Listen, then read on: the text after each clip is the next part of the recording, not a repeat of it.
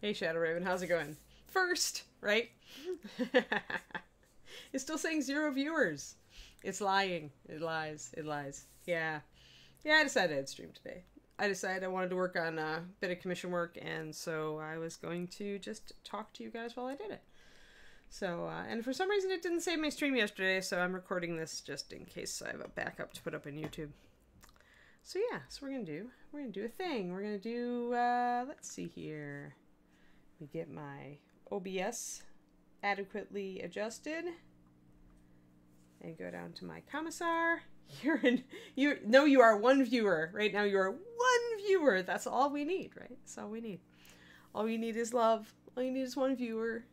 That's enough. That's enough YouTube love or Twitch love. All right. So let's see here. I'm going to use, hmm, I want to do the base and I want to do her. And I think I want to mix a little brown into the base for the stone and go a little darker too. So let's see here. I think I'm just going to mix some, uh, mix some walnut in. I could use a darker gray but I don't know that I have anything that's appropriate. I use carbon? That's really dark. Hey there, Image. Yeah, totally works on pelts. Same kind of thing, Image.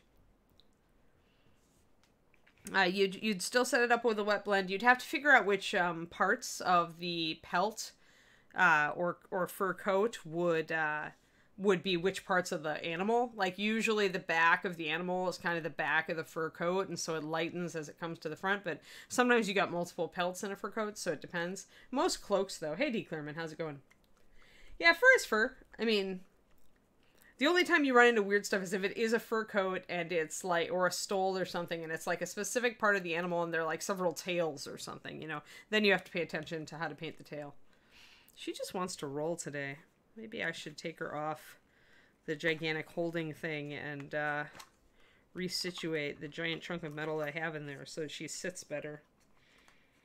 I think I have just some giant earth elemental chunk in here that I had in metal from eons ago. Will you, will you sit better now? Yeah, now she's good. Now she'll sit nicely. Good.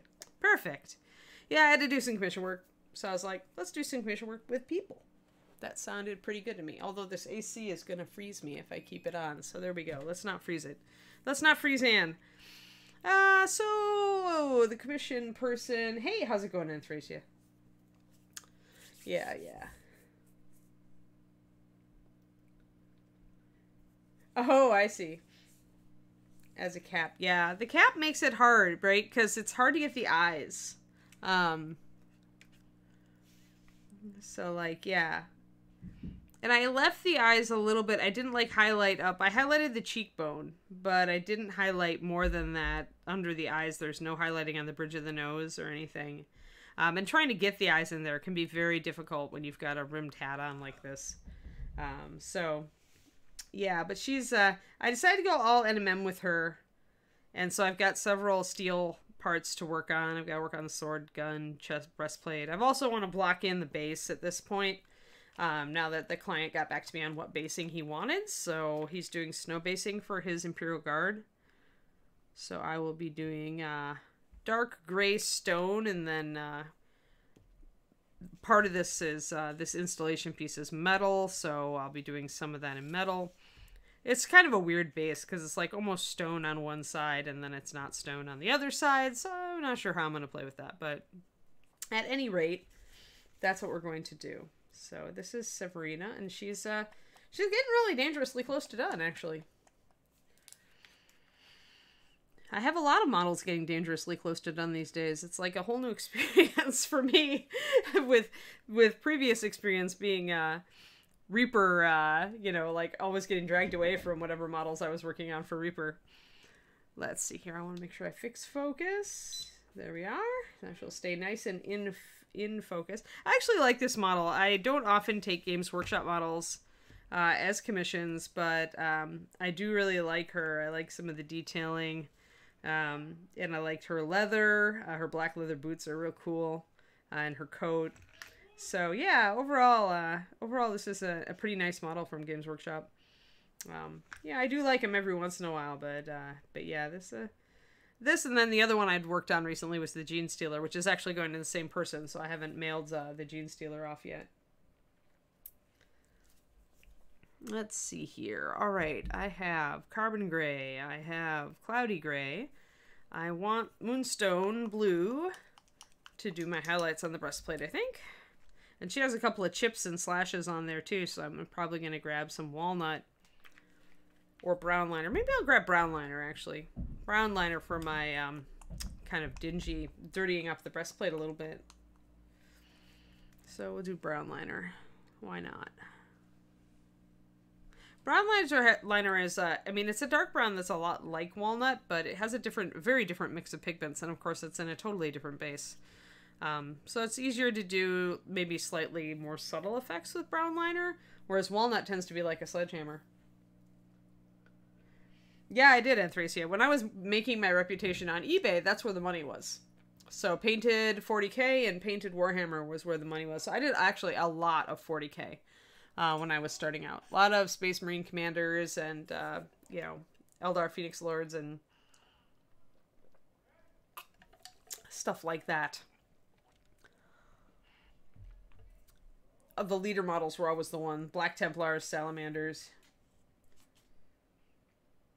Hey, listening to Paint Dries. Yeah, I've been looking at. I've got a group of friends from. I moved out to California a few months ago, but my group of friends back in Texas who still are, uh, you know, are still working on their armies, have been sharing all the latest news and everything in our chat group. So I, I do keep up with the game, even though right now there's no way to, for me to play or to, you know, our local game store is open, but it's not open for, um, for congregating. So, so I still have my Eldar. They're in the closet. if I get into a group again, I'll start working on them again. Uh, but this is a commission, so uh, right now I'm working on her for. Uh, and actually, I'll get out since we're since we may pull a couple of Games Workshop fans since we're having that in the subject line. The other one that I did for this client is uh, he wants them done pretty much like the box art, but I did the Genestealer uh, cult patriarch guy. So that is like so. And he's pretty cool just because I really like the the tiny little detailing on the back of his armor. Here, let me focus. Focus. Focus on the Genestealer, please. There we go. All those tiny little lines and dashes on the back of the armor highlights, which is actually taken from the box art directly. So thanks. Thanks, Heavy Metal Painting Team. it took me forever. Um, but yeah, so he's uh, he's cool. I've always been a fan of Tyranids, so this guy was super fun to do. Um, so yeah, it's a it's a good time. But yeah, I have a couple of golden demons. So I'm I back in the day, uh, I was doing a lot of high end painting, and I still like to paint my commissions to a pretty high standard. So yeah, that's Mr. Genestealer. He'll hang out. We'll keep him around. Um, but yeah, let's talk about yeah, I did as an army. I did uh, Tyranids. I started with Dark Eldar because that was what the box set was at that time, Anthracia, and then uh, but they were very finesse army, and I wasn't very good at tactics. I never have been, um, so they were a little bit too crunchy for me, and uh, I wanted uh, I went Tyranids because I really liked the models. Um, I think they're cool looking and they're fun to paint. Uh, so I had a like 120 gaunt army at one point, and then when I moved uh, away from Baltimore, I uh, I uh, liquidated those, rehomed them with a friend who wanted a Tyranid army, just because I I was uh, moving on pretty much on a shoestring. I didn't have a lot of room, uh, so that was just a nice way to find a, a nice home for them. So let's mix up our paint.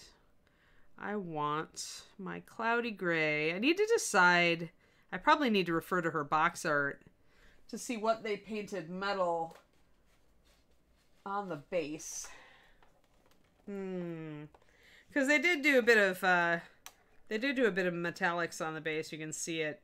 But I'm just puzzled as to why the edge here then looks like stone. It looks like they painted even the broken edge like metal.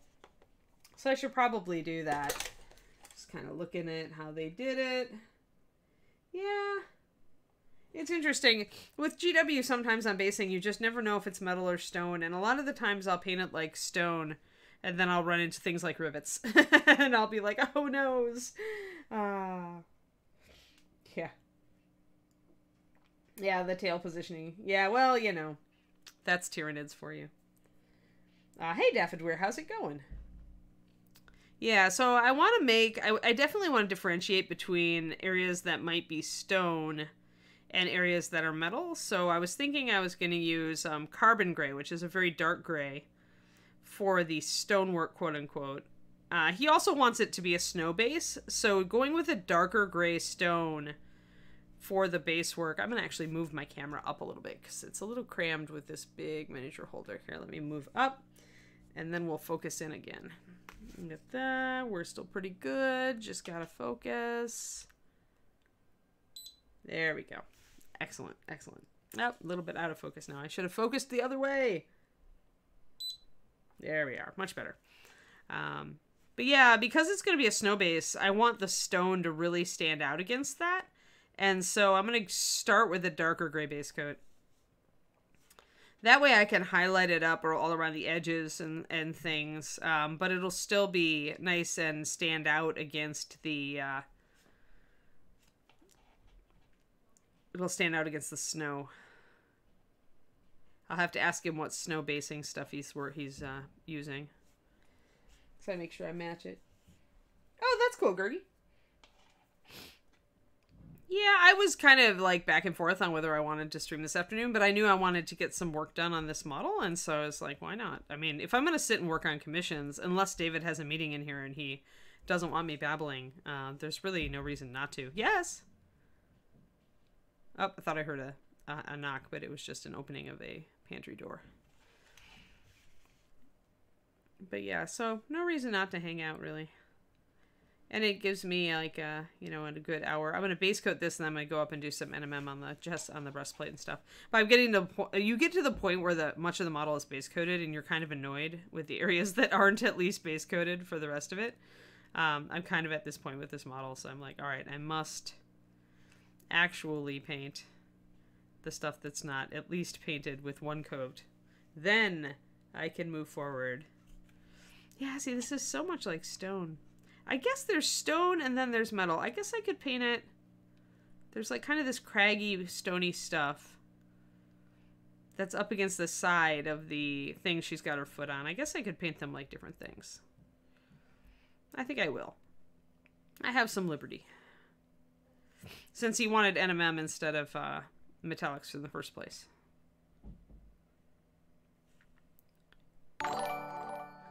Hello, Danny V. Ah, Fantasy 40k. Thank you for following me. Yeah, I do a whole bunch of stuff on here, not just uh, Warhammer, but I uh, have some commissions that are Warhammery, and so you will see me from time to time painting Games Workshop on here. I work for Reaper Miniatures the rest of the time, so uh, I do their stream in the morning. They do mostly Dungeons and Dragons style figures um, for uh, role playing games. But yeah, I paint a whole. I paint a lot of everything and I do have some Games Workshop of my own. And now, if uh, if the virus will just be off, we'll have Golden Demon Candy competition again, and I definitely want to uh, start painting my entry for that. So maybe this will be. I've told people I'm going to work more on high end models on this stream, so I uh, very well might you might end up uh, watching me paint some of my Golden Demon entry. But uh, there's a couple other nice models I've been working on too. So we're just going to block in this in a dark gray. Oh, good. Well, it's nice to meet you, Danny. Yeah, I, I stream on Reaper Miniatures Twitch in the morning from 11:30 Central uh, to around 1 p.m. Central. So people people watch me while they eat lunch. Uh, we do a lot of kind of intro stuff on that, although I do do, well, let's see, what's a Reaper model I did recently? Ms. Wraith is here. She's, let's me see where you, there you go. So I was doing her like she was becoming corporeal or uh, starting to ghost out. So there's an example of a Reaper model that I did recently on stream to kind of talk about how you, like, you do that whole, like, becoming corporeal uh, ghost effect. Um, yeah. Hey, Ewok. So yeah, let's get this ba get this base just blocked in and then I'll work on the steel. Just really want to feel like I'm even closer to done. You like there are commission models that are just nice models and so it's fun to paint them. But there comes to a point in every commission where you're just like, okay, I want this over with so I can move on to the next thing. I have some Dark Sword models that I need to get on. Uh, Targaryens from Song of Ice and Fire And those are going to be interesting. I might do a video for my Patreon on painting their tiny little faces because they're uh, Tom Meier sculpts and they're very delicate. And sometimes it can be really hard to do those eyes when they're really tiny. There we go. Well, at least I've blocked in blocked in this in dark gray. Thanks for the Patreon plug, Gurgi. Yes, I just put up, for those of you who are my patrons, you'll have noticed I just put up um, how to paint wolf fur tutorial just like less than an hour ago. You can tell I was working um, right over my lunch hour. That was a hard video to do. I don't know. Sometimes you try to video a tutorial and it comes together just like instantly and it's brilliant and it's great and you're like yes this is exactly what i wanted to teach. And sometimes you try to teach a subject and it just seems like you're all over the place and you're not like you get distracted by techniques that you didn't want to cover and uh, the wolf fur tutorial was like that. I had to shoot it three separate times. I don't know what it's and it's weird because it's a topic that that I've done before. It's it's a technique that I do a lot, and so it's just weird that I I didn't feel like I quite nailed it until the last run. All right, well now at least we've got our base mostly blocked in. And this big thing is metal, so I can block that in in my uh, basic non-metallic metal gray, which is cloudy gray, of course, 9089. Hey, it's Liquid Nebula. Thank you. Oh, wow. Oh, cool. Yeah, definitely. Yeah, dinner hour for a lot of people. I mean, out here in California, it's of course earlier, so I can. I have to at the end of this stream. I have to pretty much let my dog out, feed her, and then start on dinner. So I'm just a little bit later than you guys. So cloudy gray is a medium dark gray. It's looking quite light next to uh, this uh, carbon gray because carbon is a very it's a charcoal gray. It's really dark but it is a decent medium gray for this sort of thing for for starting coat on steel I like to start a little on the darker side with steel. And uh, not on the lighter side. I find it a lot easier to blend down to my darks.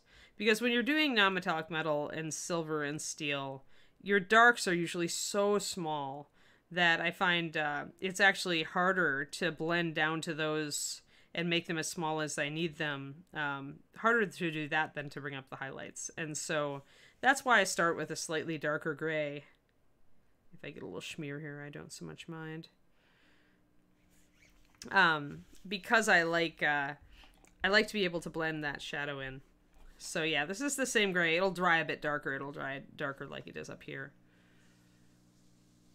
Although it may look a little lighter being up against a uh,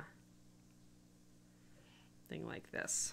But we're just blocking in as fast as we can. Just want to get this all settled. The little wire or tube there I'll make red probably so it'll go with the rest of her.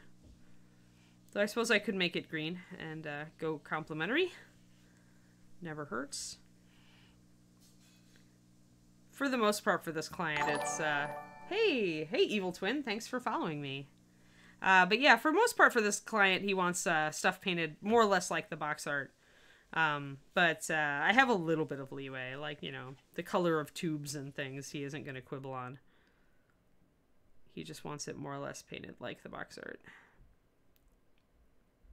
He's a decent painter himself. He does a lot of work with the airbrush, but he doesn't really do stuff like non-metallic metal. So when he has a model that uh, either takes a lot of, uh, free work, of like tiny work, like Mr. Uh, Mr. Tyranid here, Hey, Warmini Painting, thanks for the follow.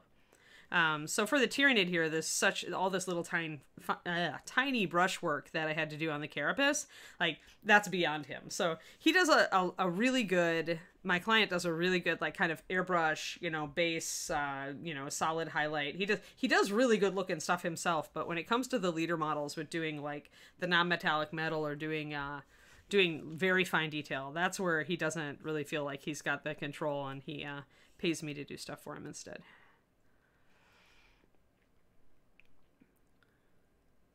Yay. Alrighty, so we got that blocked in. Let's go up and talk about this breastplate here. And I've got to do silver on the gun, or steel. Uh, silver or steel on the breastplate. It's pretty much the same. Silver and steel with doing non-metallic metal is exactly the same thing. So you're going to be, you know, maybe with silver you make it a little lighter. Uh, and maybe your shadows don't stay as dark, just to suggest that that lighter, shinier color. Um, but in general, it's it's very similar. So we're sitting here and we've got some dents in there that I may want to block in right away so I don't uh, forget them. Let's see here. I've got some brown, really dark brown. I may also just want to start on the highlights and block in those dents later. So for her highlight on the top of her breastplate, I'm going to go with a pale blue color because I want to kind of uh,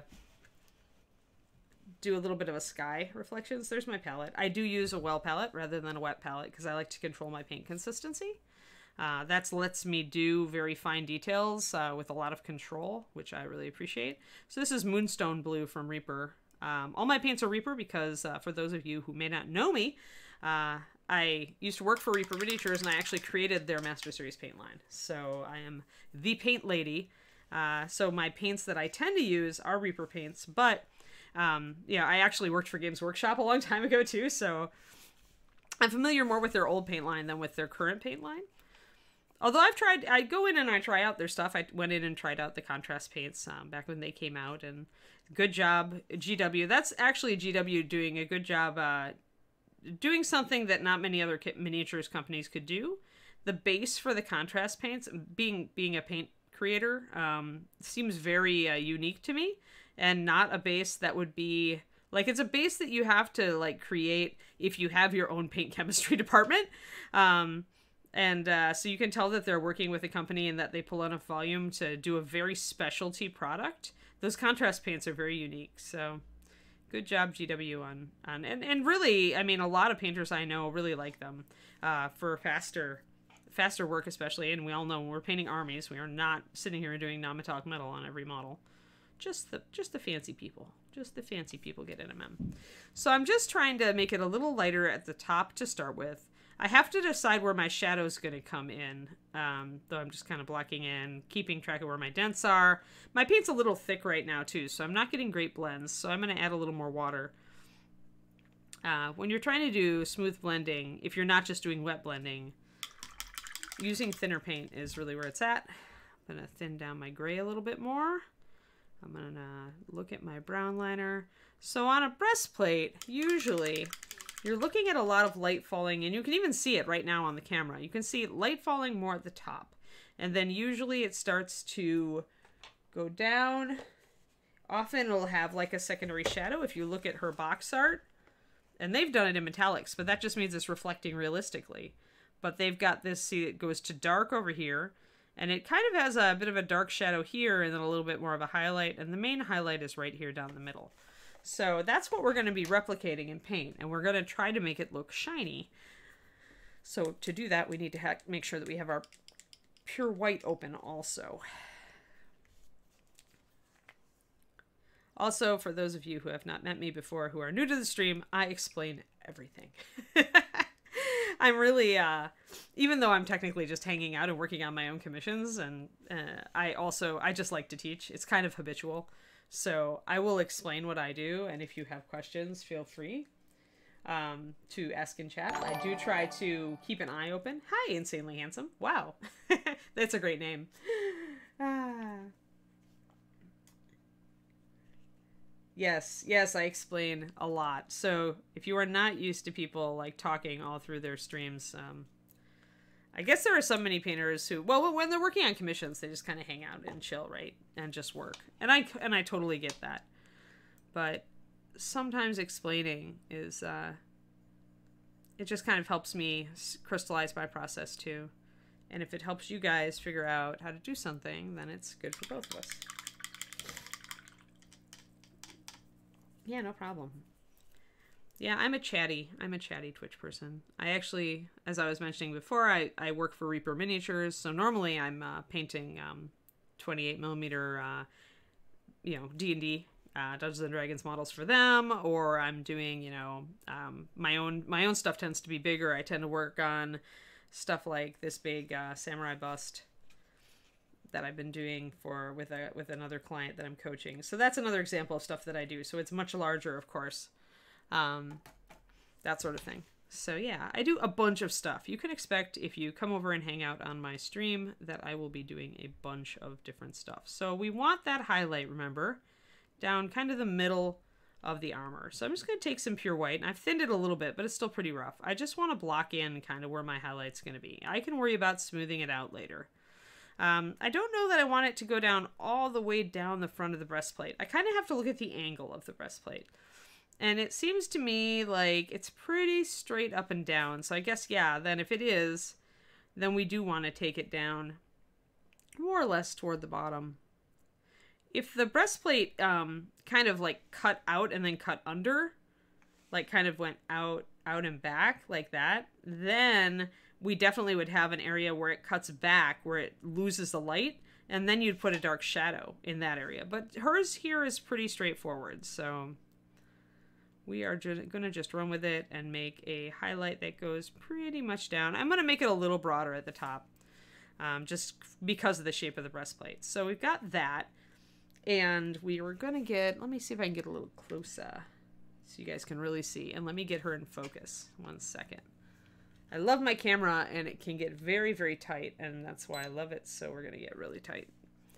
There we go. There we are. Much better. And my color comes back to normal. Fantastic. All right, so you see how I'm blocking in that white, and it is not, it's still pretty brushy, pretty streaky. Um, this one, Insanely Handsome, it's a it's a Games Workshop model, so I'd say it's probably a 30 millimeter. Their models tend to be just a little bit bigger. Like if I look at this Reaper Wraith, next to the commissar. She, if I, the Reaper Wraith is up on some stuff, and she's got, well, there, I guess they're about. So I'd say, yeah, 28 millimeter ish. The proportions tend to be bigger. Games Workshop uh, stuff tends to be a little blockier and bigger in general and proportion, but yeah, about that. 28 to 30. So standard like D&D model uh, scale, gaming scale as they call it. Ah, all right. Uh, gold is not true metallic metal. It's actually NMM Jetta. Teaching and random topic shifts. That's my yes, this is my uh, specialty. Although today we're we're kind of on top. But uh, oh, burgers. Oh, chicken alfredo burgers. What's everybody having for dinner? I'm making steak. It's steak tonight. Where I channel the fact that I lived in Texas for 17 years to make a an awesome ribeye. That's like if I learned nothing else living in Texas, it was how to properly make steak. And this was a very nice looking ribeye. I normally I make my save versus ribeye, but these were very good looking. And they were on sale. I couldn't pass it up. And there's the random topic shift. yes, steak. Well, you know, Shadow Raven. It's not a Twitch stream unless you're talking about food. I mean, come on, I watch Overwatch streamers all the time, and at least a couple of the ones that I watch, like food inevitably enters the uh, the conversation. So you cannot tell me that the random topic shift to food is not a standard on Twitch. I know, right, Jetta? I actually like this model for that. I like the Games Workshop didn't give her the boob plate. Let's see, she's got a couple of little uh, dings and dents in her armor. I'm going to just kind of suggest those a bit.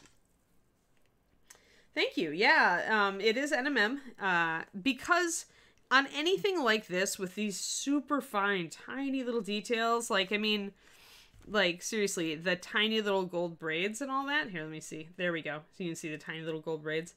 Anytime you're going to be painting something with this amount of, uh, of tiny details that need to be done in gold or silver, I really feel like NMM is the way to go because you can hit all those details and make them all stand out. It's so hard with metallics to do that because the light's going to catch it unpredictably. So sometimes it it uh, it I just feel like it, NMM is the way to go when these tiny little things like these tiny little eagles with their wings and the breastplate.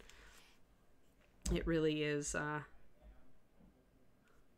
Here we go. Okay, so now I'm going to take some of my moonstone blue. It's just a pale blue. Um and I'm going to bring that out into this highlight a little bit.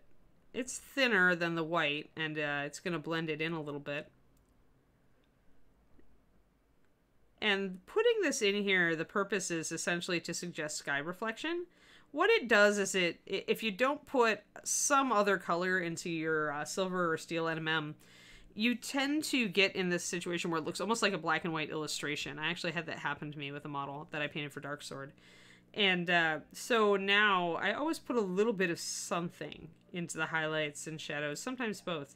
Now I'm going to take a little bit of a shadow here, shadow color, and come up on the side. And remember, the other side of her breastplate also had a shadow color when we looked at her box art. So we're going to put those shadows in. I'm using brown liner for this. It's a Reaper color that's uh, a little more transparent and uh, a little more fluid. It's It tends to make dark shading a little easier because it's transparent. It's made to be, uh, it's made to be for lining. So putting the dark line between all these, like the little dark lines I have between all of these things, yeah, we're done with liner. Um, they're made to be uh, a little bit more fluid so that you can use them that way easily. You don't have to thin them down too, uh, too much to get there. All right, so now a little uh, little shade over here. Now, how close your highlights and shadows are to each other and how quick the transition is from one to the other will determine how shiny this uh, surface looks. So I don't necessarily want this. We're not looking for chrome here. We're looking for, you know, a fairly shiny breastplate. But obviously she's been in fights. You know, this, this breastplate has been through a bit. So I don't want too sharp of a transition. I want maybe to bring a little bit of my cloudy gray back and uh, interrupt that dark line and maybe blend my white in a little bit more. Maybe shrink my highlight just a tad. Just doing tiny little brush strokes here to try to tune it. So we'll start with the basic, but then throughout this process, I'm always evaluating, does it look right? Is it starting to look shiny? Um, the basics of non-metallic metal are that you need to have a very close to white highlight, if not pure white, and on steel it should be pure white. Um, and you need to have dark shadows uh, laid down that are essentially where the light moves away from the eye. Because what you've got here, if you think about what shiny is, it's just this metal is pointed toward your eye, right at this area, and it's flashing toward your eye. So that's where your pinpoint highlight comes in. you don't have to make one sense. It's the death chicken, Jetta Rose. It's the it's the Games Workshop death chicken, the double-headed death chicken, uh, is what my friends used to call it, and they played Space Marines, so they could make they could make fun of it. I have always been a Xenos kind of girl. I'm afraid. Dark Eldar, Tyranids, Space Orcs, Eldar, those have been my armies. I did actually have Space Wolves at one point just because I really love their iconography. Because I'm into wolves. So now I'm going to bring up just a really sharp I want a really sharp white highlight here. If the if the breastplate's going to be reflecting really strongly anywhere, it's going to be like here at the front and top. And the brighter I make that, the more shiny things are going to start to look. Then I can take more of my gray. And remember there, uh, if you look at her, you can see even a little bit of a shadow going down here and then it comes up a little bit a little bit more of a highlight toward the edge here so you've got highlight shadow highlight. And that's that's a metallic on that model. And so what we're doing is we're simulating that with non-metallic paints. And we do it this way because it gives us more control. Um, and and in this case the client has paid for it. It gives us more control and the client paid for it. Yeah, I mean, Space Wolves are fun, and honestly, um, I think the the Space Wolf grays from the dark gray to the pale blue gray are really easy to blend. Like they're they're some of the the easiest colors. Uh, grayed out colors tend to be very very easy to blend, and so I think that um, I always found Space Wolves fun to paint and simple to paint because of that factor. Let's see, add some white here. The other thing we could do is even add a little bit of red into our steel where it comes up next to her lapel here. Because the steel would probably reflect a little bit of that if you think about it. Since that uh, that fabric is right next to it. So now we've got a little bit of a highlight there. And that all what this does together is, of course, you know, and, uh, talked about this a lot this week with NMM Gold on the Reaper stream. But you want shiny and you want reflective. Those are the two qualities of metal. And so those are the two things that you're reaching for when you're trying to do this. And the shiny is achieved by putting your darks next to your lights here and having kind of the dark and light banding effect. And your reflective is putting these secondary highlights out toward the edges of the model and then making them reflect colors from the environment or just reflect light by making them lighter. Oh, thanks, Rex. Awesome. I'm glad you found me through. And you have a Pikachu icon. You have a Pikachu emoji, which you know I actually have a I have a Pikachu mouse pad around here somewhere, and um, various stuffed Pikachu's planted in various places in my apartment because there is uh, there isn't a lot that's happier than Pikachu. Everyone has a Pikachu emote. Awesome.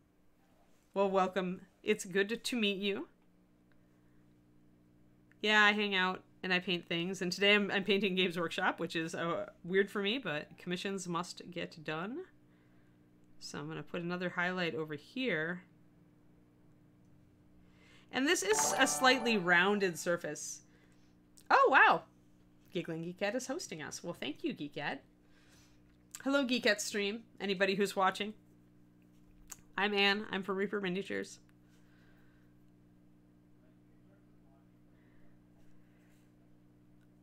And we are currently painting something that's definitely not Reaper, but uh, something that Anne needs to get done. Hey, Gent. Thanks for the follow. Yeah, hi, Giggling Geekette. It's good to see you. Thanks for the host. I appreciate it. We are uh, working on a female commissar, trying to do some NMM on the breastplate to make it look right. And it's a little bit of a weird shape on the breastplate, so I'm fighting with it just a tad. But those are the, the streams that are most instructive, so... When the mini is fighting with you is when you learn things. And I think I need to grab just a little because I've got the right I've got this the right shape here. See how I've kind of rounded out the shadow and the highlight? You want that because this is kind of a rounded breastplate. It has a little bit of a curve to it, both um, both side to side and top to bottom. And so I want that to look curved, and I think I've missed it a little bit over on this side. So I'm gonna kind of take my shadow color and bring it back in over here and try to even this out make it look a little bit more like what I want. And it may be just that I don't get as strong of a high, uh, secondary highlight on that side as I do on this side. Because here her arm is back, so her coat is open more, so you're seeing more of the breastplate. Hi, Mikot Dog. Thanks for the follow. Howdy, howdy, everybody. Oh, you found your Druid Stone diorama. Yeah, that's a classic. That is an old piece. I always loved that piece of art by Parkinson, Keith Parkinson. Love all those old D&D artists. I am a Larry Elmore fangirl for sure. I have his uh, his giant books that he kickstarted a couple years back. Yeah. All right. So that's a little better. So now I'm starting to get a little bit of that reflection coming in. I can make that a little lighter. You never want your secondary reflections to be as bright as your main light source. So if our light, main light source is going straight down the front here, which is what I'm kind of suggesting with all my other highlighting, then I definitely um, want these secondary light sources to be a little more dim. So we can go up to a pretty pale gray, but we just don't want to go up uh, toward to the pure white. You never want to make it quite as bright. But the more light you put in in your secondary reflections, the more um, the more real, the more reflective the metal will get. Like you can see the light catching now, right? So that's coming along actually really well. Yeah, I, I love Elmore in general. Like when Jim uh, at Dark Swords started doing Larry's uh, pieces in miniature form, I was like on it. and Larry likes my painting. Like there is nothing more gratifying, guys, than being a Larry Elmore fangirl since you were nine and picked up your first D and D book, and then meeting him when you're in your 30s and 40s and having him say that he really likes the way you paint miniatures, his miniatures. Like that is one of my like. I'm such a I had such a fangirl moment. I don't fangirl many people, but oh my gosh, yes, I had such a fangirl moment there. back when I was doing I was doing box art for for Dark Sword at the time when Jim started uh, essentially having uh, Larry and then later Stephanie Law uh, share a booth at Gen Con with him. But yeah. Oh yeah.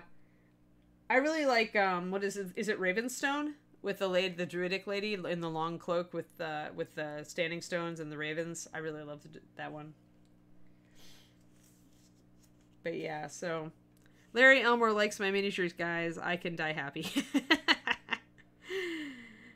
but yeah, that was that was like a, definitely a peak of uh, kind of me like going, uh, kind of I guess a, uh, in a way it reinforced my style. In a lot of ways, my painting style is a lot more naturalistic. Um, and not so much maybe on this figure, uh, which I'm definitely painting to look like the box art. Um, but in general, when I paint, I tend to go more subtle, more naturalistic, less poppy, less uh, less cartoony. Uh, I tend to think a lot about realism and and making a model look more real, even if it's like a little 28. Um, and that's different from a lot of painters out there. And so uh, there have been times like that I really am like, well, I seem to be doing it different than everybody else. Um, and uh, maybe I'm doing it wrong. I don't know. I'm, I'm doing it my way. Uh, but little things like that where like a, a 2d painter looks at my stuff and is like oh i like your work so much more than this other guy. He's too cartoony. You know you're you really get it. And then yeah that was that was worth its weight in gold for me really at that time of my career.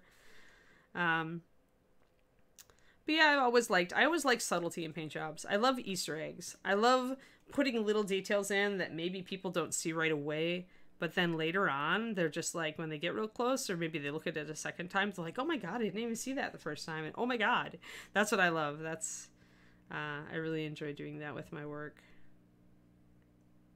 And, uh, and doing, hitting all the tiny little things. There, we're gonna, gonna raise this, uh, get rid of this dark shadow under the breastplate a little bit. We still want a little line there, but I really want, that's, that's looking good. Now, if anything, we may have gotten a little too round. This is an excellent example of of the shape of your highlights and shadows can really suggest volume that maybe isn't there. Like if we look at her breastplate, it is pretty up and down. It definitely curves from side to side. It has more of a side to side curve than it has an up and down curve. But I've made this, I've painted on this highlight that's very round, and so it is reading like it's more of a rounded overall breastplate. So you can create like faux effects, like effects that even aren't really there, you can suggest just by the shape of your highlights sometimes. Uh, CNC on the channel. CNC? I don't know what CNC is. I'm a very new Twitch person. Justin at Reaper has had to hold my hand for a lot of this. Explain CNC, Rex, for me.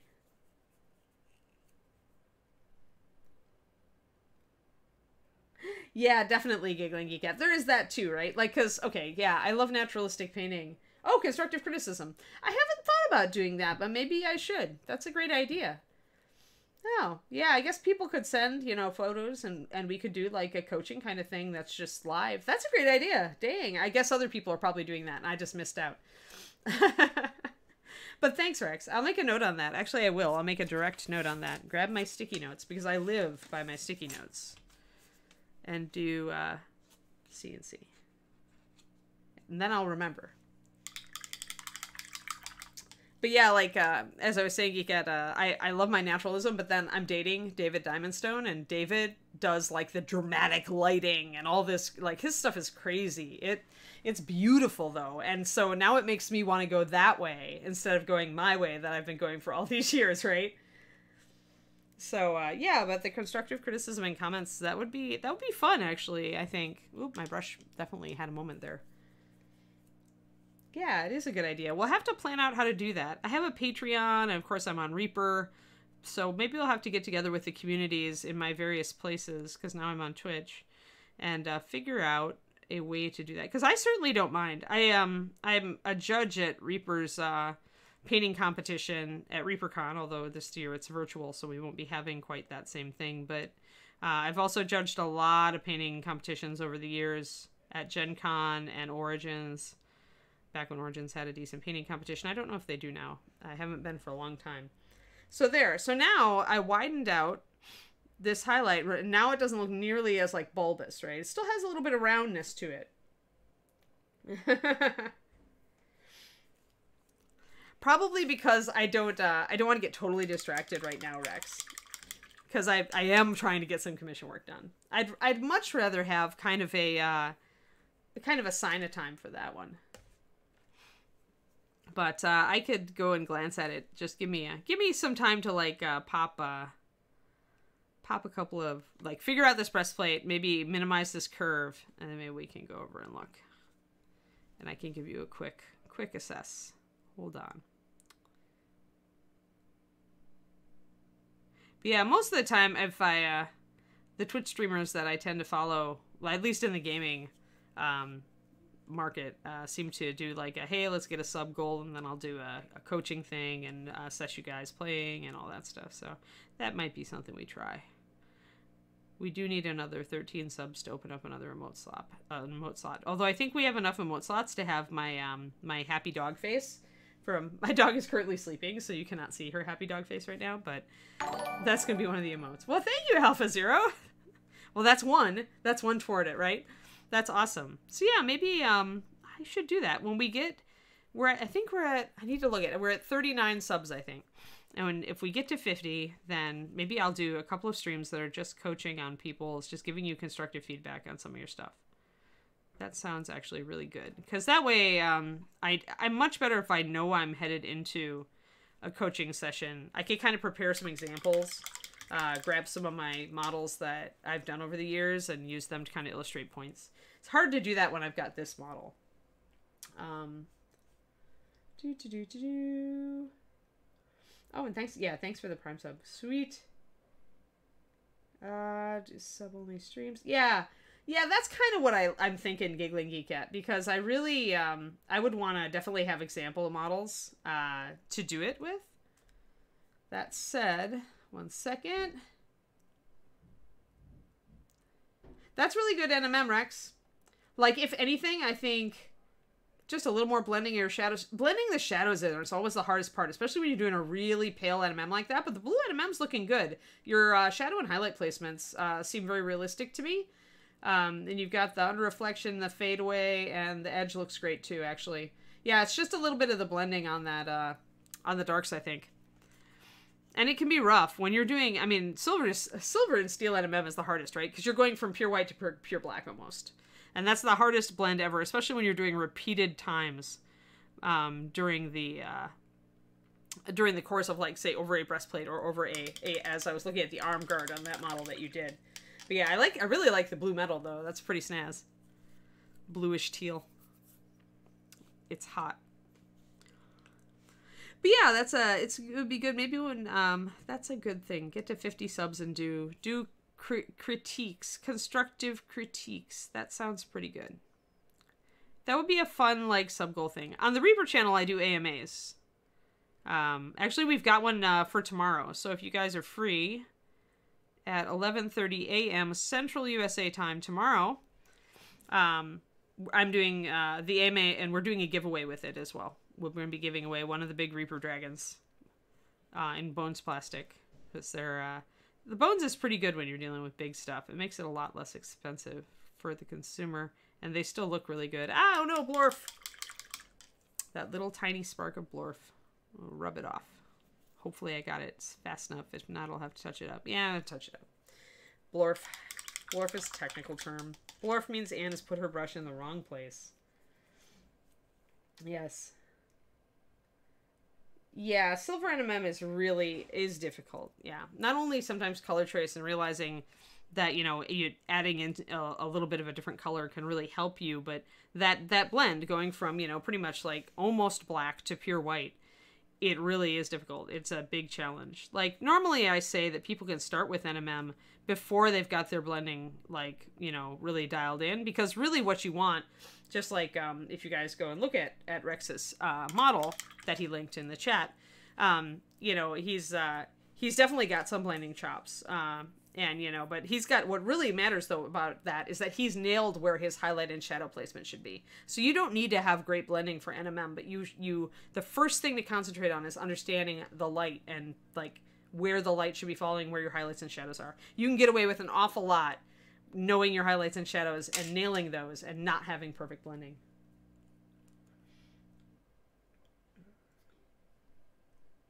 Yeah, yeah. Thanks. Yeah, no problem, Corby.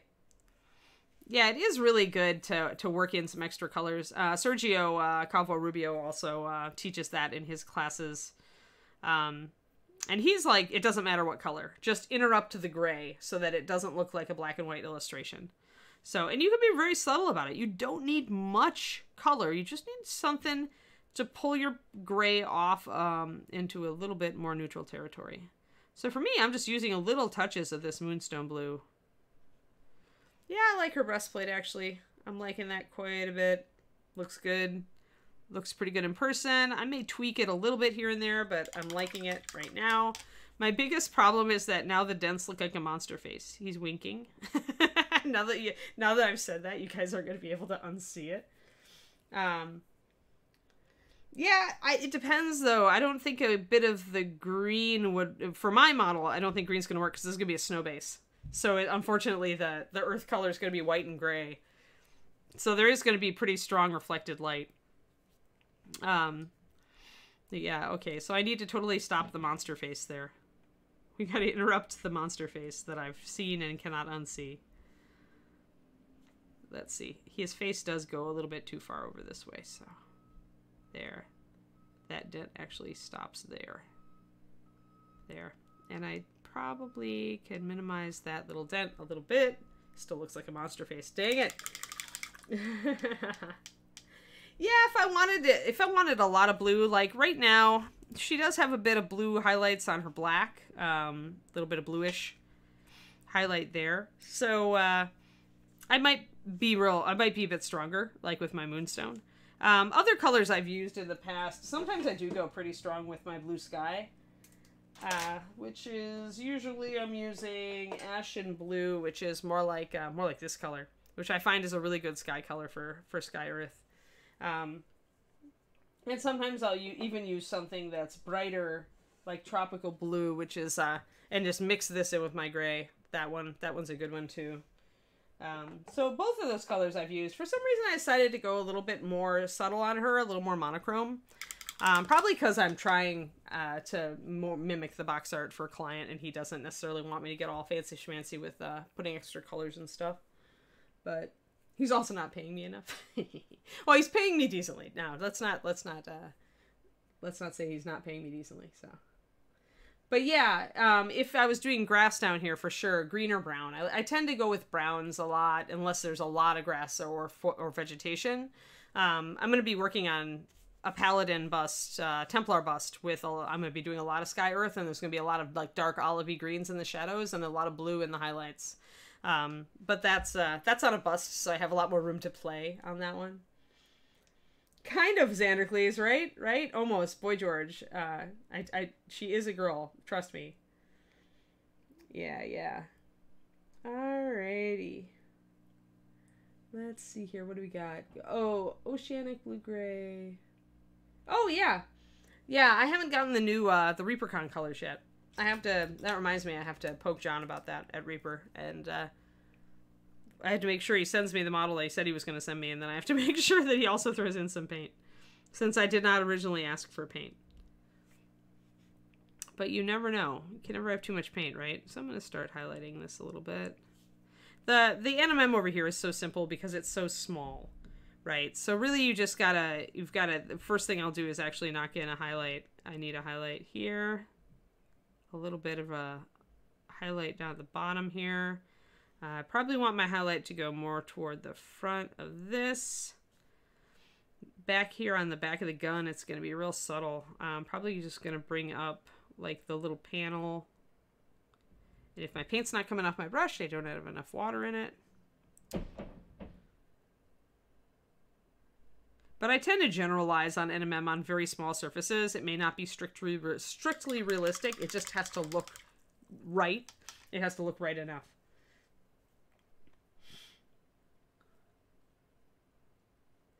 Um, yeah, Mathophile. I mean, it, a lot of people, like David, my boyfriend, uh, he paid for a lot of very top notch painters to do commissions for him so that he could get better. When he was working on becoming a better painter, he essentially found people that he really admired and he got as many people as he could to do commissions for him. Um, but you also, I mean, in this case, this particular person who is, has me doing this one, uh, he's a decent painter on his own, but he likes to have really good looking leader models, and he really likes this model and wanted non-metallic metal, and he doesn't have the skill set for NMM. So in that case, he's uh, he's got money, and so he's willing to pay me to do a couple of leader models for him here and there. So it, it varies by the person, right? I mean, I used to take commissions when I was doing eBay. I would get a lot of commissions from like doctors and lawyers who like uh, you know, they loved to game but they didn't have the time to paint and so they'd hire me to paint a lot of stuff for their armies. Um and sometimes I'd get a request for a D&D character. Yeah, I still need a little bit more water. Thin down my white until it's like obedient.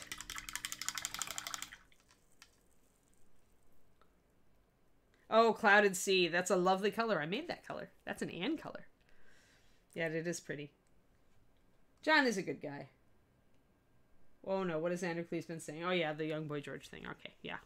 Yes, and now I won't unsee that either. I mean, really, when I put in, she's got kind of her hair is in a bun at the back of her head. I haven't done it yet. Her hair is uh, auburn, I think, redhead. But totally, Boy George could have any hair color he wanted, so, you know, the 80s. As long as she doesn't, like, start singing Karma Chameleon, we're okay. Alright, it's a little bit of a uh, back reflection there, a little bit of a tight reflection there. When you get these little areas, you really don't need to do a lot. You just need to suggest. You need to put enough there to show that you aren't ignoring it. I'm going to put a little bit of a shadow under her hand here on the bottom of this gun.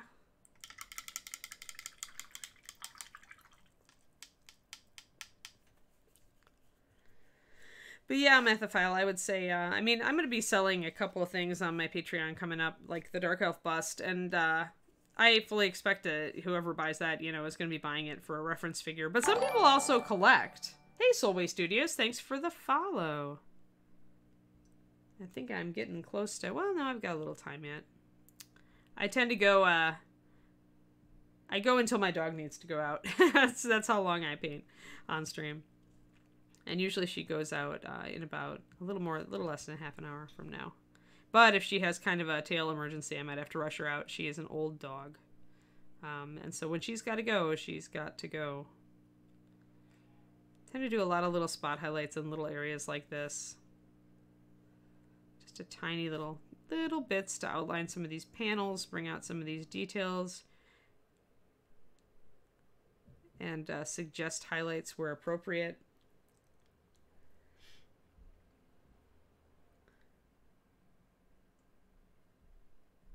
Yeah, yeah. Clouded Sea actually was made by me ages ago, but then it was canceled, and uh, was one of those colors where when it got canceled, a, bunch of painters rose up howling en masse um, because they loved it. So uh, it's nice to see. It made a, it made a comeback as a ReaperCon color one year because I got so many requests for it, uh, and it's good to see that it's coming back with the pirate theme this year for ReaperCon. All right, a little bit more of a spot white uh, to bring that out, and I need to do a shadow under it. It is so pretty. It's such a pretty color. You know, though, in a lot of ways, the painting community has really evolved for Reaper um, in the time between when I put that out, when it was canceled, and now. Like, a lot of people when we first started they were mostly looking for bright colors. And they didn't really know how to use muted colors or you know really understand like how useful they could be. But now i see a lot of people being very attracted to muted colors uh, which i really like. It's a nice way to switch it up. A lot of people still really like dark tones too but it's I just see people like spreading out more. It's not like like we used to have like our top sellers were all the all the really like simple bright colors and um, it's not always, you know, the other sell the other colors don't sell badly anymore. You still see the bright colors go a little bit better. And part of that is that you can do a lot with bright colors, right? For mixing and things. So ah, I need to drill out that gun. All right. Well, mental note, need to drill out the gun. Forgot to drill out the nozzle. I will have to do that. At least a little bit. I'm not somebody who's going to drill the gun barrel like way back in there, but I will actually like drill a little divot and at least make a little divot um, it never used to bother me, but I had so many friends who were sticklers for drilling out gun barrels that now it bothers me. ah. Sticky note to drill out the gun, right? I think I'll remember. I'm I'm so close to finishing her. Um, I'm gonna I'm gonna bank on me remembering this one. Let's see. Sword S word. This is one of those easy swords, sabers. You know, with the flat side and the bevel. So simple to do NMM on these. Let's see. Let's do some. Get our get a get a layer down. I like to do wet blending on NMM with more um, when I've got the surface for it. So I'll just pick up a little bit of my white, a little bit of my pale blue. Oops, need to remix that up.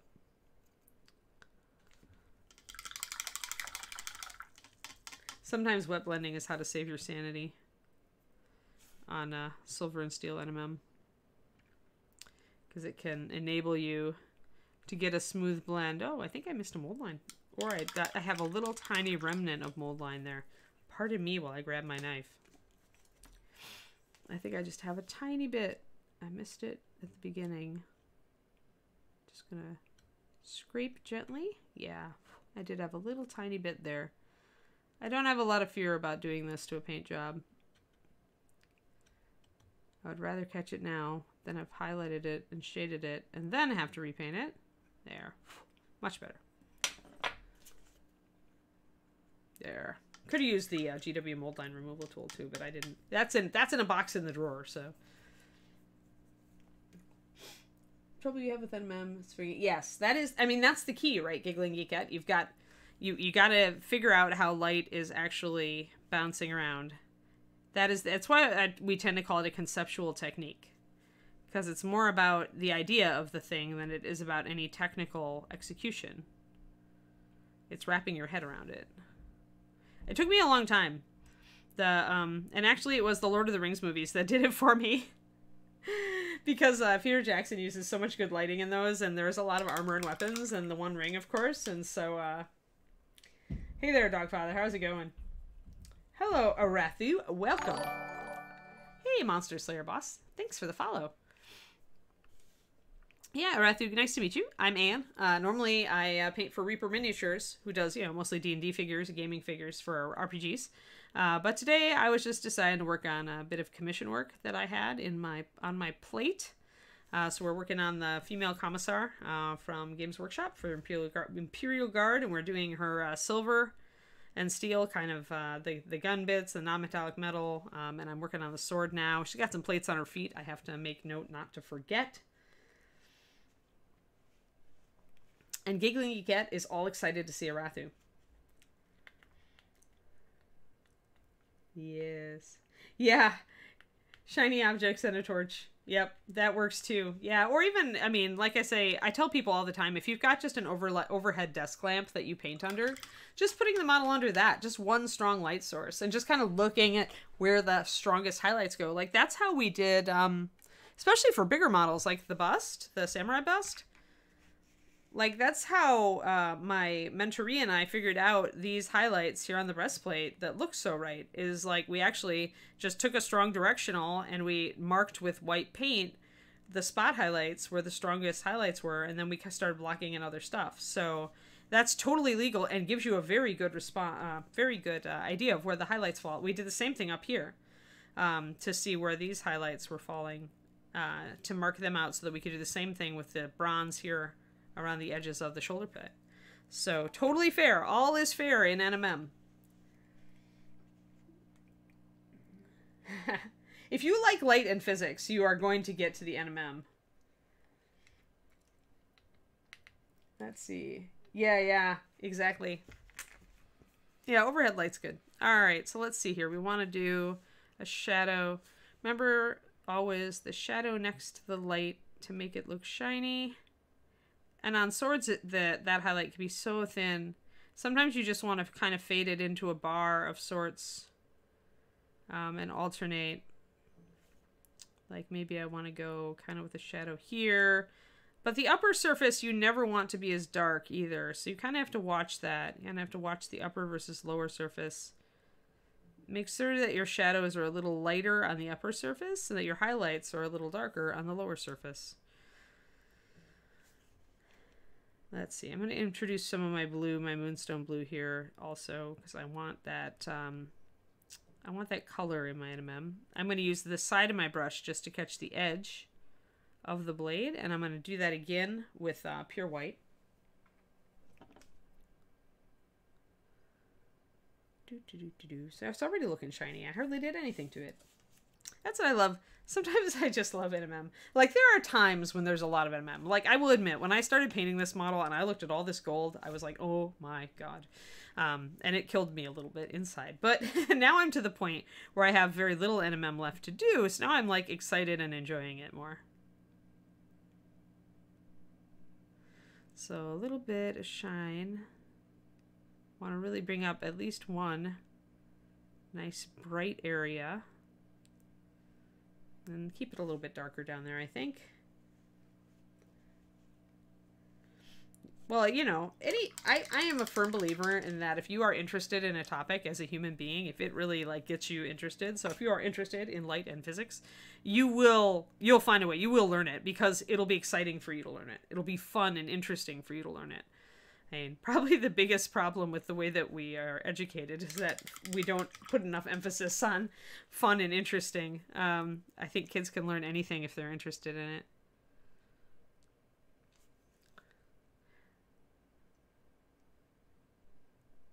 Alrighty. So we got dark there, so I probably need to bring up an under reflection down there on this side of the blade. Not going to be as bright as the top of the blade, but it's definitely going to be reflecting a bit. And again, I wish I had more colors in the, if I did have more colors in the surrounding environment, if he hadn't asked for just dark gray and white because snow base, um, I would be able to introduce some of the colors in the environment in these shadow bands here. This is my reflected light. I am looking forward to working on my uh, Templar bust and really getting colors in the shadows and highlights because I'll have so much metal to work on. And it's so much fancy metal too. It's the one with the lion shoulder pad.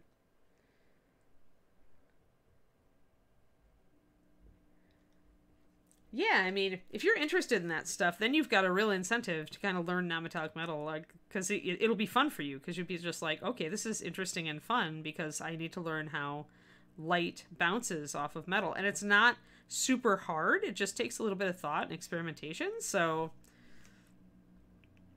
I uh, think that NMM is very, very teachable, very learnable. Um, and a lot of the times on 28 millimeters, you aren't really going real realistic with it anyway. Uh, you're trying to make it look good. You're trying to make everything show up and look correct. You're trying to, you know, make it look like there's stuff reflecting. When you get into big models, that's when you've got um, stuff that's going to keep you honest.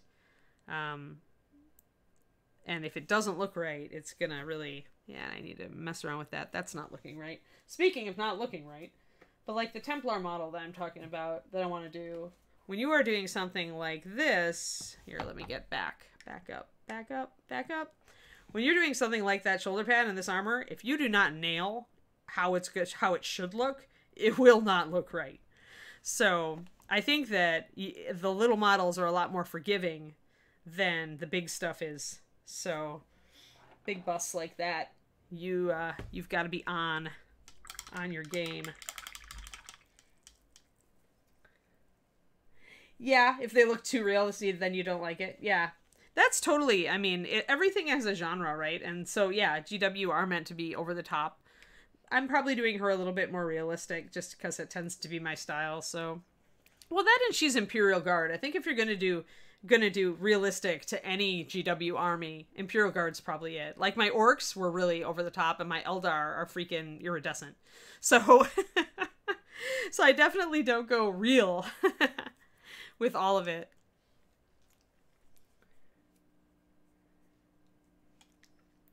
The minute it starts, you know, maybe break it down. If you struggle with the uh, the NMMs, try breaking it down and just doing one area. Like I think breastplates are some of the easy ones, and so are straight swords. Um, those are those are rather simpler to try NMM on. Um, 2002 Orc Commissar. Yeah, I believe it. Man, and that's around when I used to work for them, and I don't remember that model, but and there's so much going on. I worked for Games Workshop from let me see, I think it was 2001, 2002, around there. I live, I moved down to Texas and started working for Reaper in 2003, and then I, after 17 years, uh, came out here to be with my guy. But happily, Reaper still has me as an employee. I'm just doing all this Twitch stuff. Alright, so we got some kind of little reflections and highlights. I'm going to get the bottom edge of this sword also with a, not a pure white, but there is going to be snow, and so there's going to be reflection, so I am going to get the, uh, that underside of the blade just with the side of my brush real gentle with very little paint on it just to hit that edge highlight and bring that up so that it looks and I could I need to go a little bit there needs to be a little bit more blending in there.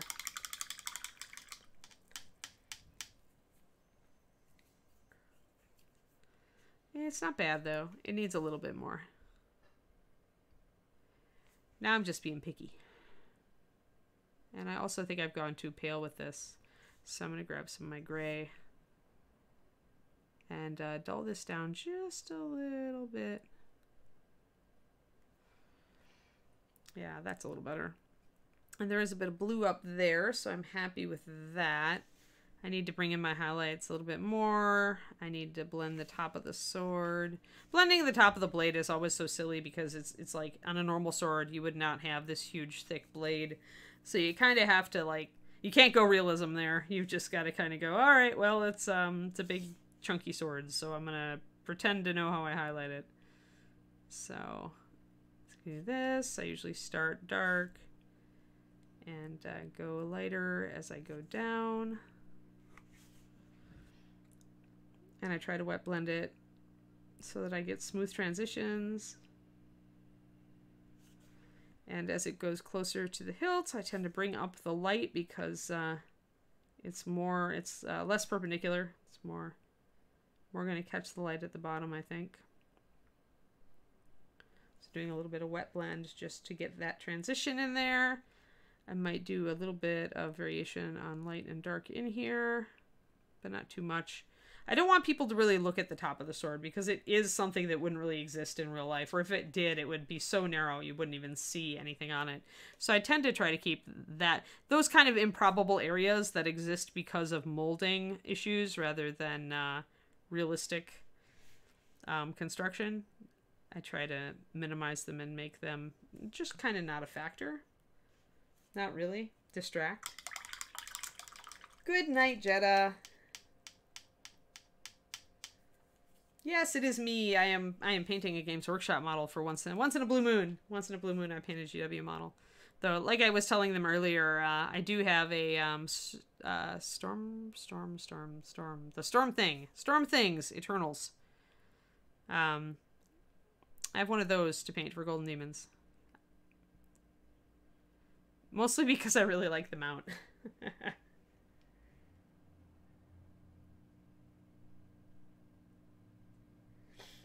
yeah, well, you know, I mean, my guy has been playing a lot of Path of Exile lately, and I'm just like, go do it, guy. go do it, David. Um, he feels bad about it, but it's really just, uh, it's like, well, I'm like, if you're doing that, I have time to do my stuff. So, you know, it's not like we have to be joined at the hip all the time. Um, I mean, it's nice when you have a hobby that's your own, and then they have a hobby that's their own, and you can still, it's not, doesn't mean you don't love each other, that you don't do everything together.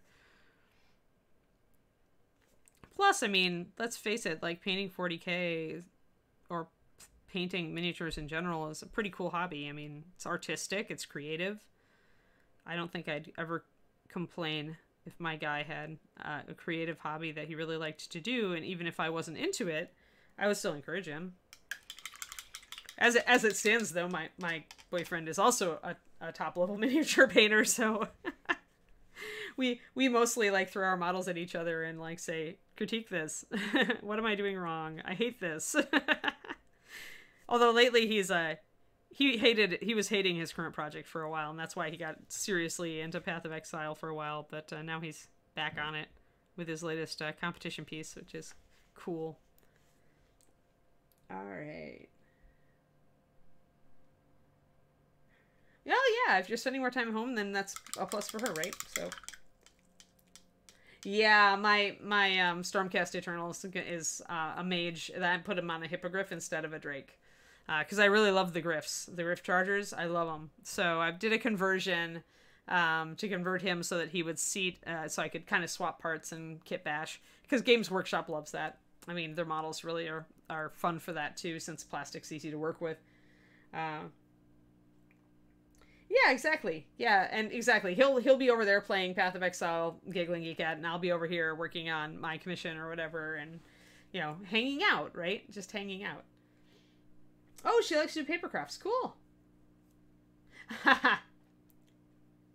yeah, well, especially if you're in a GW, it is not cheap. It is not cheap. But the painting hobby isn't cheap in general.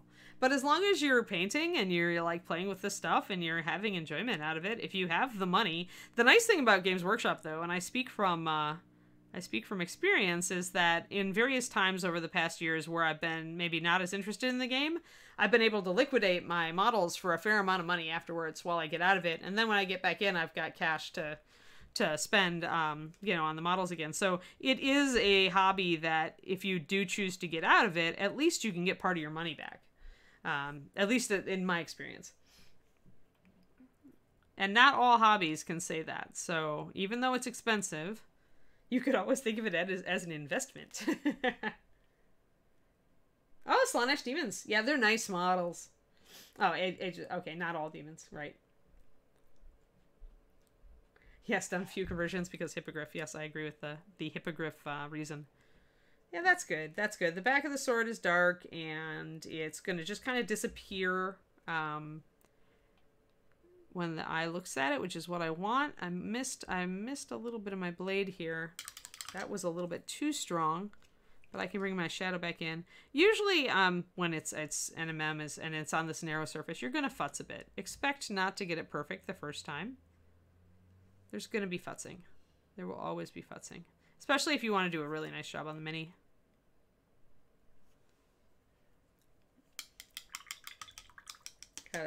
Got, very light there, and I lost some of my blue. This is a downside of using Moonstone, is that since it's a very subtle blue that has a bit of gray in it, it's easy to lose that blue tone that I'm looking for in the metal.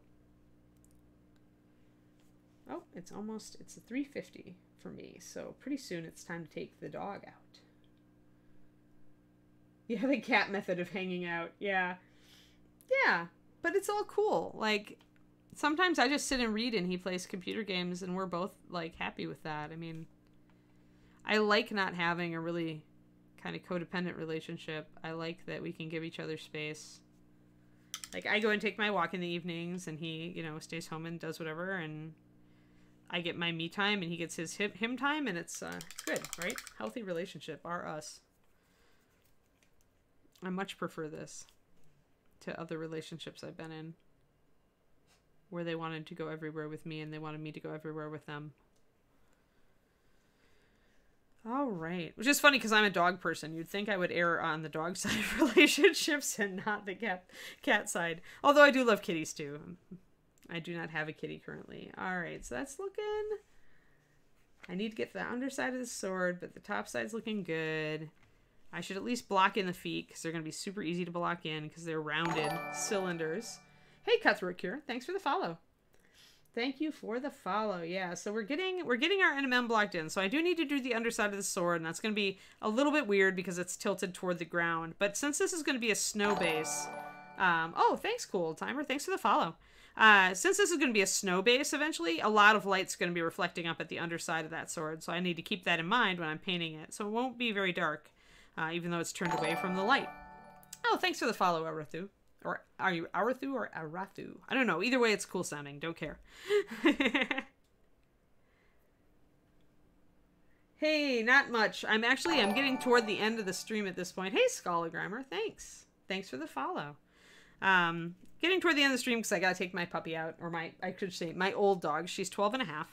Um, and uh, four o'clock is her definite must go out time. So I'm out on the west coast. So uh, I'm blocking in some highlights on the sil- um, NMM, NMM steel on the feet here. Uh, so I want to at least get my highlights kind of blocked in so I can continue working on this later. I'm pretty happy with all the work I've done on this, though. I'll put this up on my YouTube, on my Painting Big YouTube, guys, afterwards. Um, but yeah, the breastplate we did today. Uh, we were working on the sword there.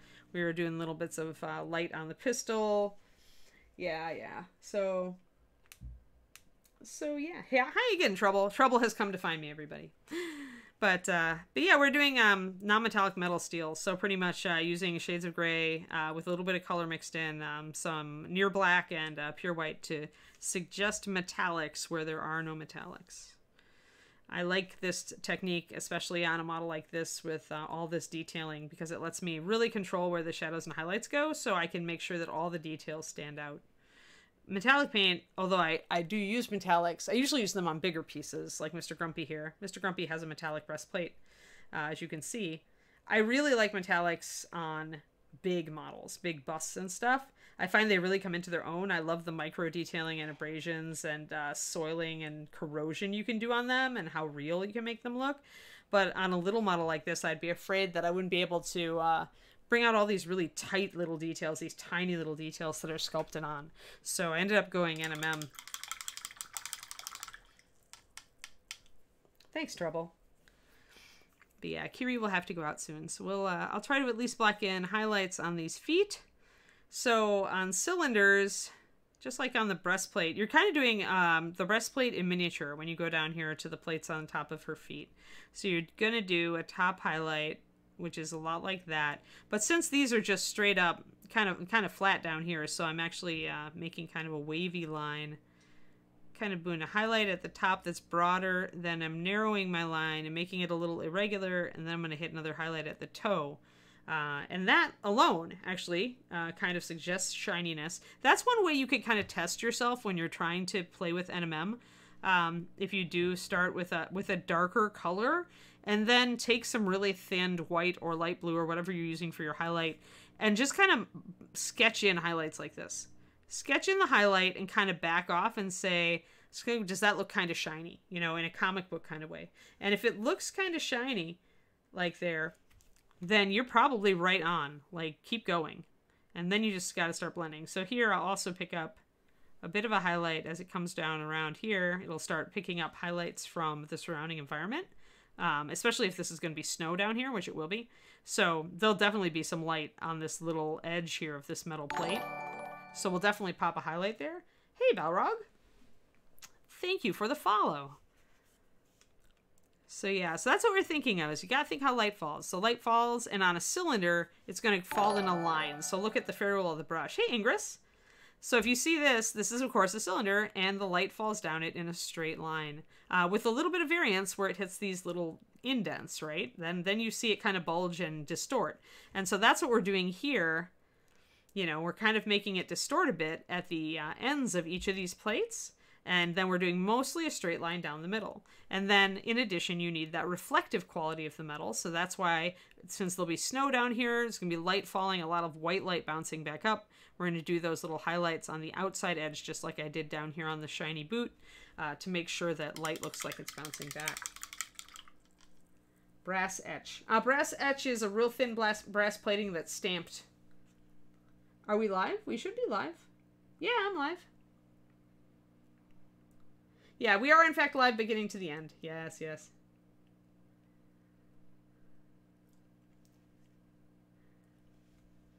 Yeah, but we all I think I think a lot of people though, Arathu, are, are kind of in your boat, right? Because I mean, I started out just painting D and D figures, and uh, then got into Warhammer when I was working at a game store in Madison, Wisconsin, and um, I was just painting wood elves, but I decided I wanted them to look as good as you know to really look good, right? Especially the big guys, especially my leaders. Uh, and I just started picking up White Dwarf magazine, and that's where I first saw Golden Demons. And I'm like, I bet I could do this because I was an art student. I was like, these people are doing amazing stuff with these models, right? Just crazy inspirational stuff. Uh, and that's what planted the seed in my head for getting better. So, I mean, I started out just gaming for painting and to please myself. And then decided that I wanted to push it. I wanted to see how good I could get on models that I really cared about. Um, and yeah, now I'm a multi, you know, national and international award-winning painter who worked for Reaper for 17 years. Uh, so you know, it's it takes you various places, right? But you, I mean, you can go as far as you want, and nobody should look down on you just because maybe you want to paint most of your models to a nice, clean gaming paint job. That's like worth admiration by itself. Just that's stick to itiveness. An army takes a long time to paint, even when you're doing a simple paint job. Looks like clock, but is confused. Yeah, it's actually it's four my time and it's six central time, and that means it's time to take Kiri out. Um, so anyway, guys, I I glad to meet the new of you, the new people uh, that I haven't ever seen before. Uh, I do a lot of different subject matter on my personal stream here, but it usually does go right around this time. So it'll start around uh, 4:30 Central and go till around 6 6 Central USA time. Um, and usually just in the middle of the week because I try not to overlap Reaper's streaming time. And on Friday, Reaper has a lot of shows. Uh, so I will probably not be on tomorrow afternoon. But uh, yeah, Tuesday and Wednesday for sure, and then uh, th- odd Thursdays if I feel like hanging out, right? And we'll just do a whole bunch of different stuff. Um, but yeah, so welcome to the stream. Thanks for following me, everybody, uh, and uh, thanks for my regulars who see me all the time. Remember, remember, um, that uh, Reaper tomorrow at 11:30 a.m. Central is going to be my show on Twitch.tv/slash Reaper Miniatures, and we are doing an AMA. So a bunch of people dropped questions in the Reaper Discord for me to answer, and we're also doing a giveaway. We picked one of the big Reaper dragons, and we're going to give away three of them in the course of the show. So, so definitely show up tomorrow morning, okay, you guys? All right, Kiri is Kiri's getting restless, so I'm gonna go. I hope you all had a great time. Have a fantastic afternoon, evening, whatever time zone you're in. All right and signing off.